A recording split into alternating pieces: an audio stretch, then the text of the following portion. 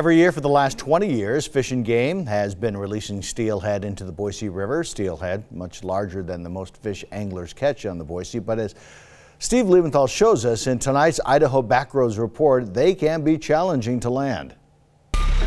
It's a November tradition on the Boise River, and despite low numbers this year, Fish and Game has enough surplus hatchery steelhead from Hells Canyon to release it to the Boise River. Straighten her out, John. We're going to lose it up here. At the drop site behind BSU, that requires a long tube and a group effort. You might think being taken from one river, trucked to another, and sent through a ride like this would make the fish confused or wary. But within minutes, anglers who patiently waited are hooking steelhead. We're gonna go fishing. I hope we got a steelhead.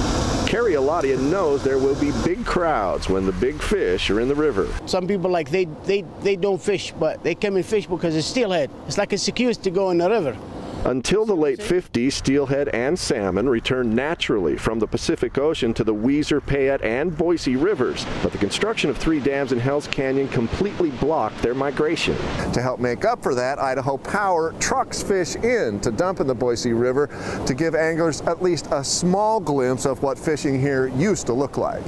The steelhead is very, uh, very tough, like to get them out. Take a while, you know. If you if you not pay attention, they they broke the line. They just go.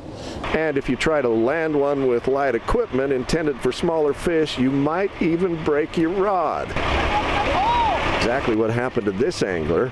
The complication forcing him to jump into the river with the fish to get it out. Aladia says there's generally no reason to panic if you hook a steelhead because there are almost always other anglers who are more than happy to help. Some people have a net just to help out. We help each other here. Nice people too. Steelhead fishing on the Salmon, Clearwater, and Snake rivers in Idaho will close after December 7th because Idaho does not have a permit for incidental take of federally protected wild steelhead. But because wild fish no longer return to the Boise River, the closure does not apply here. Steve Lieb